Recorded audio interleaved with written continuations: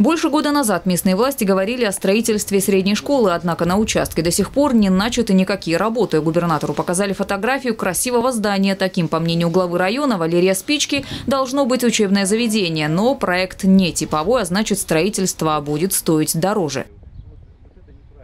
Красивая, конечно, фотография, или я бы иначе пока не скажу, намного красивее было бы, если бы это здание хотя бы уже фундаментом здесь начало красоваться.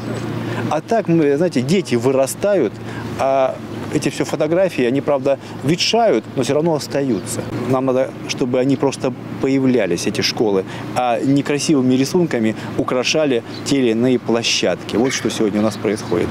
Есть средства на типовые школы, исходя да. из того, что мы их уже рассчитали да. и предусмотрели. Вот если глава хочет сверхтиповой школы, э, не вопрос, пусть ищет источник другой финансирования, под свою ответственность. Все. Но сроки никто никому нарушить не даст.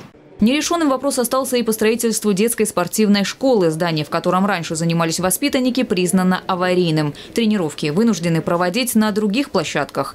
Чтобы узнать, какие еще проблемы сегодня назрели в муниципалитете, Вениамин Кондратьев встретился с местными жителями. Подробнее об этом в нашем следующем выпуске.